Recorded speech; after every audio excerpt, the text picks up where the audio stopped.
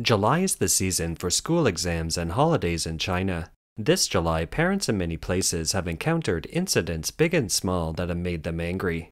Here, thousands of parents kneeled at the Nankai Primary School in Tianjin, shouting for the principal to be replaced. The footage, after coming to light, has sparked concern in the community.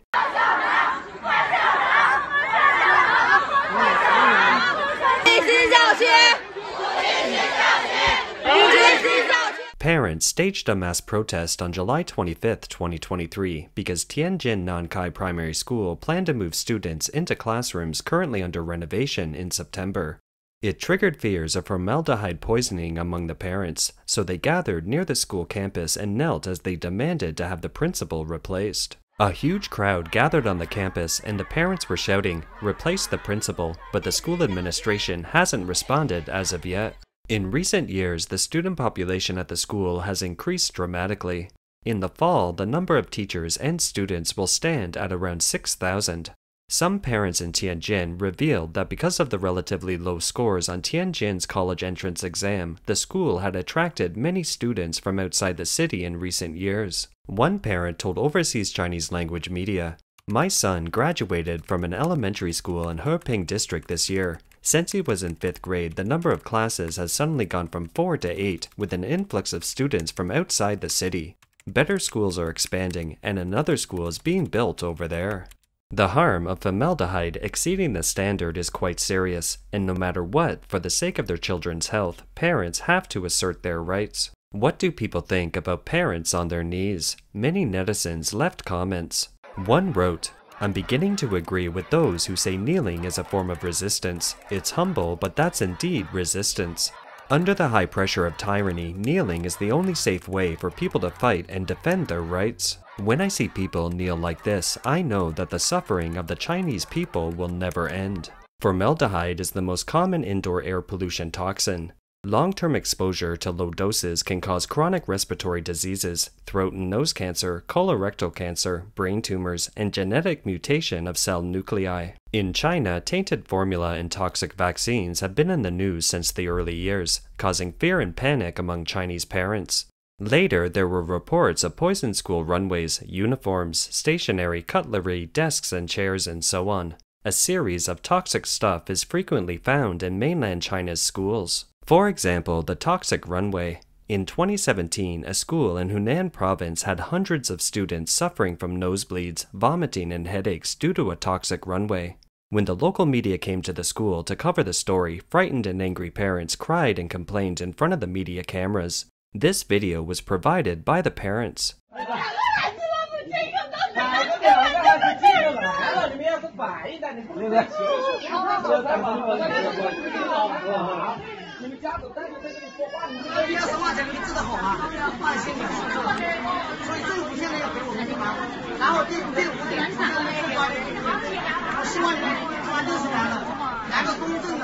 Chinese media noticed the problem of toxic runways in May 2015.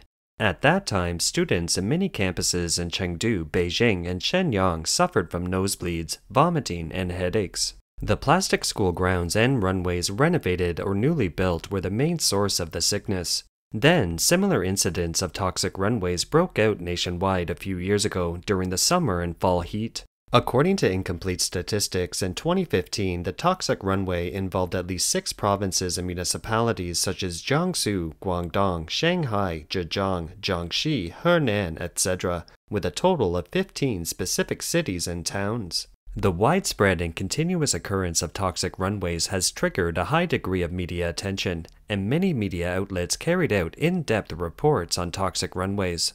A reporter with Xinhua News Agency found that the main reasons for the frequent occurrence of toxic runway incidents included a lagging standard for plastic runways. The reporter noted the existence of backdoor operations and low bidding prices for the construction of school grounds, illegal construction, and the illegal addition of toxic and hazardous substances as a result of low bids. The reporter also noted a lack of quality supervision due to buck passing between regulatory organs. At that time, a CCTV investigation found that the Beijing school grounds and the toxic runway are made of waste tires, cables, plastic garbage, etc. However, this edition of the CCTV program was soon taken off the air. Another example is toxic stationery. Cartoon pencil sharpeners, pens with charms, and shiny white paper are some of the most popular products among children, but many of these products on the Chinese market are toxic. In 2021, a branch of the Chinese Academy of Sciences tested and analyzed four brands of scented highlighters. These items are popular among primary and secondary school students. It was found that in the volatile odors of the ink used by the highlighters, a total of 15 volatile elements were detected. 10 were toxic, including acrylonitrile, which is highly toxic. Studies show that prolonged inhalation of acrylonitrile can cause nausea, vomiting, headache, fatigue, and other symptoms. At that time, the person in charge of a stationery testing organization in Guangdong told the Chinese media some of the colorful, low-quality color pigments attached to book covers and pencil bags may contain carcinogenic aromatic amines, as well as lead, mercury, cadmium, and many other heavy metal elements. And prolonged exposure may result in the migration of carcinogenic aromatic amines to the human body. It may cause human lesions or induce cancer. According to the Xinhua News Agency report, data released by the State Administration of Market Supervision and Administration shows that as of June 15, 2020, China recalled a total of 51 children's stationery, involving 1,355,400 units. As a state news agency, the Xinhua News Agency reports for the purpose of whitewashing the government, so the actual situation should be even more serious than what is described in the report. Let's go back to the tainted school uniforms. The Chinese media broke the story in early 2013 about a manufacturing liability incident that jeopardized the health of students. Several schools in Shanghai were involved in this incident, a total of 22 batches of student uniforms were sampled and inspected, covering major manufacturers in Shanghai, and six batches were tested to be unqualified, with a pass rate of only 73%, and one of the products had carcinogenic ingredients. The main offender in the Shanghai school uniforms incident is the decomposable aromatic amines in clothing dyes, of which benzodiazepine, the most toxic, can lead to bladder, renal pelvic, and other cancers. At the time when the incident became widely known, 21 secondary schools and elementary schools in Shanghai stopped using school uniforms. However, similar incidents didn't stop despite the intense media coverage. Later, such voices were gradually suppressed, with only sporadic reports. Now, with the addition of poison classrooms and dormitories, it's becoming increasingly alarming for parents who were born in the 1980s and who were usually the only child at home. They just can't keep up with the emerging toxins found in the environment they and their children live in. Being a parent in China is so hard. Look at this scene. What are so many people gathering for? Listen to what they are chanting.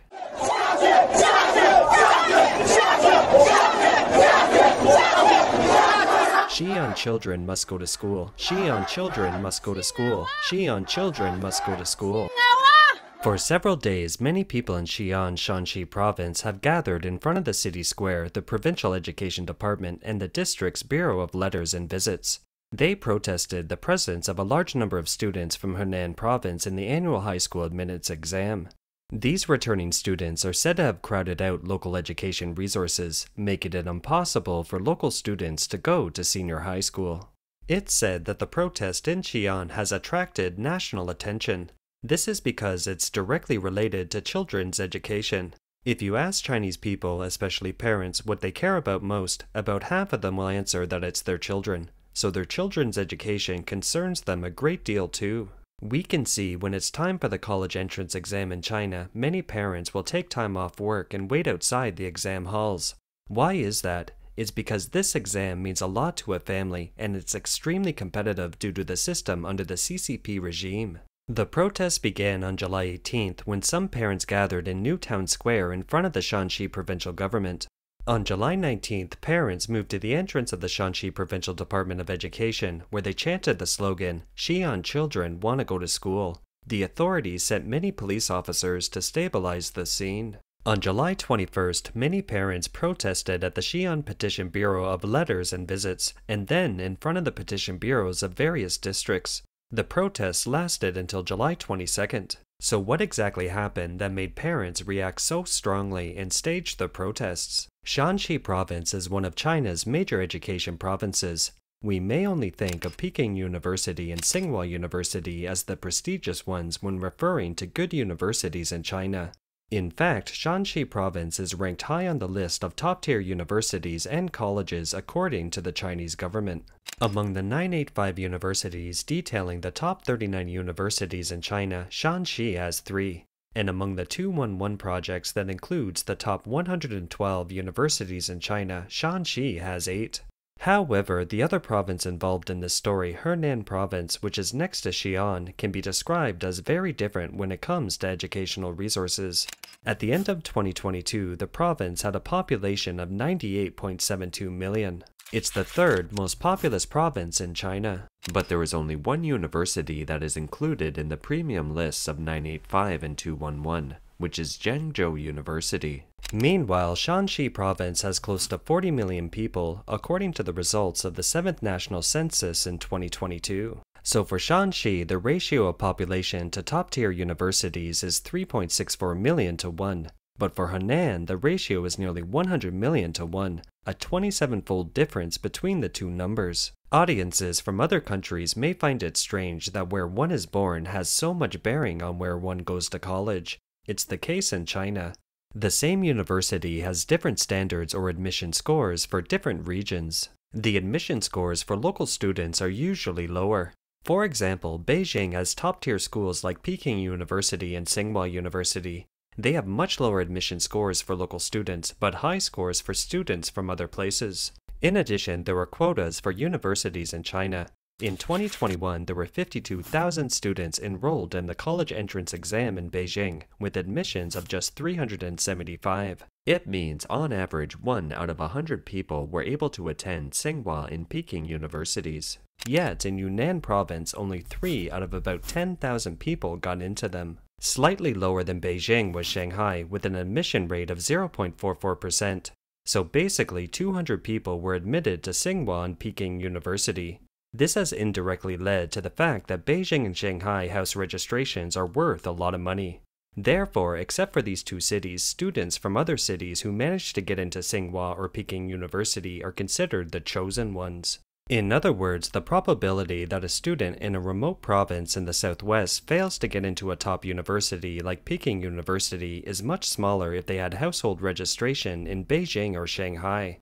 They can get into a top university much more easily, and right now what is happening in Xi'an is essentially something like this. There were fewer good universities in Henan and more good universities in Shaanxi, and these two provinces are neighbors. This directly leads to the fact that students from Henan migrate to Shaanxi for schooling. If they can get into better schools with the same grades, why not? The current protest isn't directly related to the college entrance exam, but somewhat. The direct cause is the middle school exam, that is, the one exam that decides a student's high school choice. Shaanxi's capital, Xi'an, has a strict local policy for college entrance exam in terms of both household registration and school registration. It requires exam takers to have lived in the city for at least three years, and what's more, they must have attended a local school for three years before they are considered eligible to take the college entrance exam in Xi'an. Seeing a business opportunity, local education counseling organizations, private schools, or tutorial institutions in Xi'an have come up with options for students from out of town. For example, Henan candidates can go to Xi'an to take the examination starting from the middle school exam, and then they go to high school in Xi'an for three years while living in Xi'an. It makes them eligible for the college entrance exam in Xi'an. As a result, it has drawn many students from Henan province attending local private schools and tutorial organizations in Xi'an. In addition, Xi'an had a household registration reform in 2017. It loosened the policy, making it possible for parents from out of town to obtain household registration in Xi'an. It has also made it possible for children who live outside of Xi'an to return to the city for the secondary school exam, as long as their parents have the local household registration. So many Henan families started to take action, going through a process like this.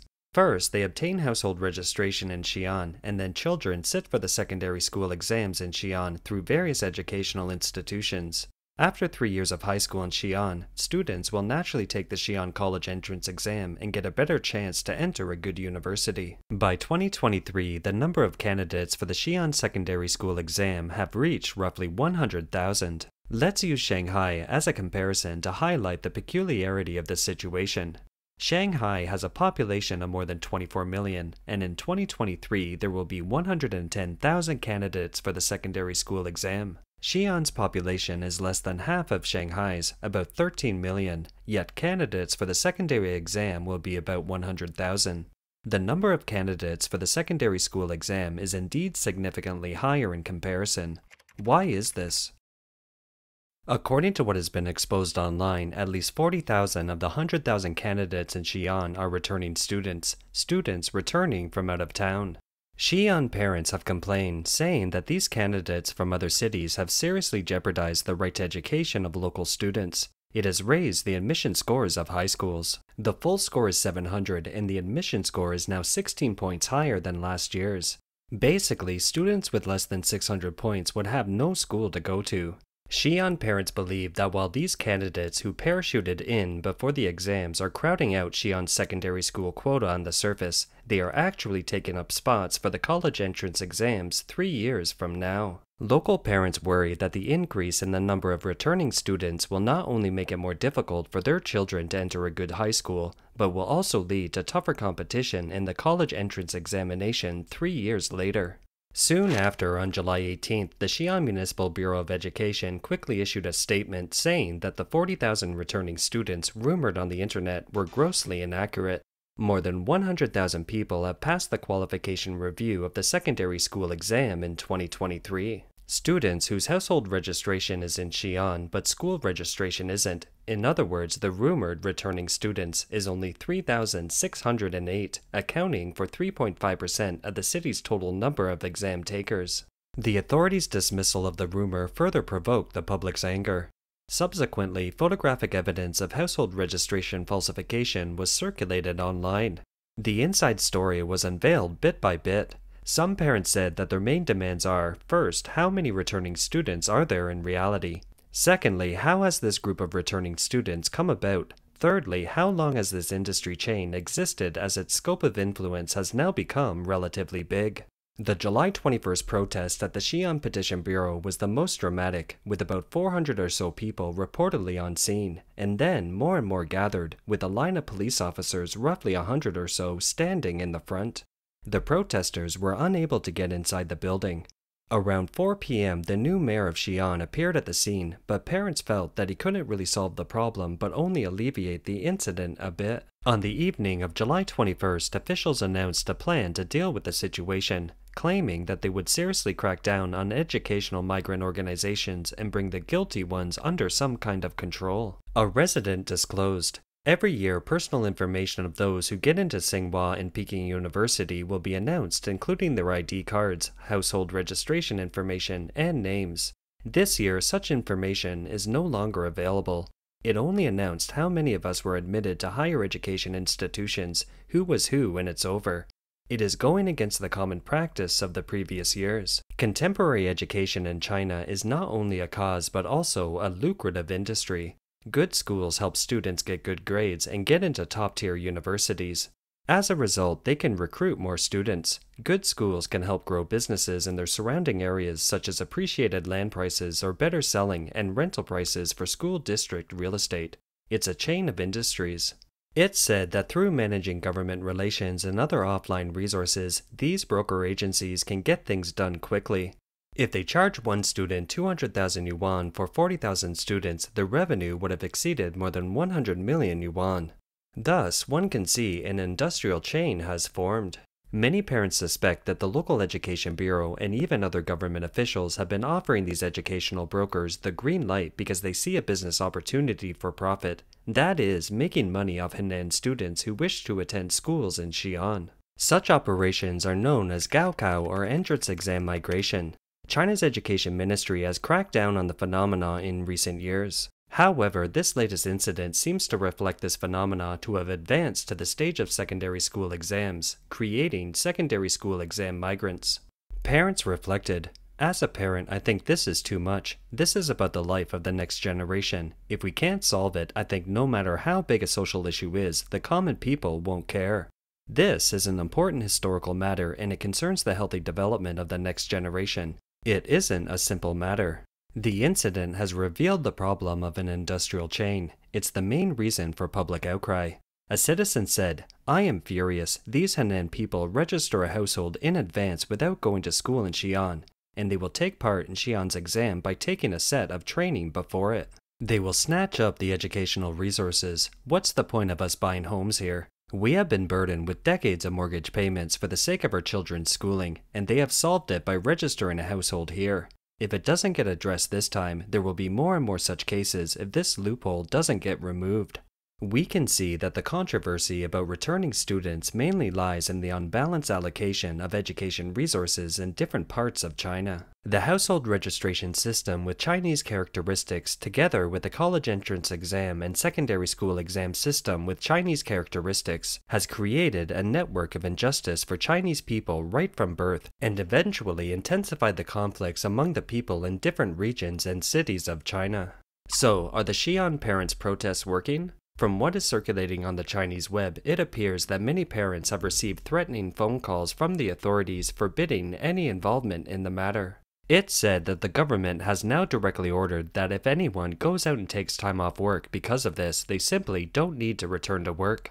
In other words, participating in the protests means losing one's job. In fact, what the parents have been experiencing, as previously mentioned, isn't even the worst of it. Look, these young girls in their prime are playing volleyball.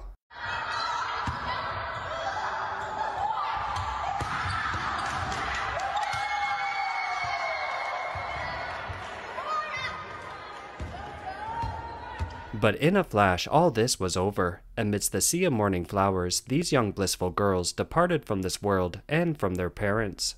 As we reported in a previous episode, at 2:56 p.m. on July 23, 2023, the roof of a school gym suddenly caved in completely when a girls' volleyball team were training inside. The incident resulted in the death of at least 10 team members and a female coach, while a male coach and other team members were injured. The gym was later criticized by many as a tofu dreg project, Look at the gym at the number 34 school. Its iron frames and pipes were so thin, no wonder they collapsed. Late on the night of July 23rd, government officials held a stack of A4 paper and asked parents to sign it. Some parents were crying. They weren't allowed to see their children's bodies unless they signed. What's going on? Can this be resolved? We are afraid to tell the elderly in our family who had heart surgery last month. Do you know how we feel? When I was signing the paper, the elders at home kept calling to ask how their granddaughter was. They called one after another, one after another. You won't let us see our children if we don't sign the papers? Why don't you let us see the kids? Yes, why don't you let us see the children?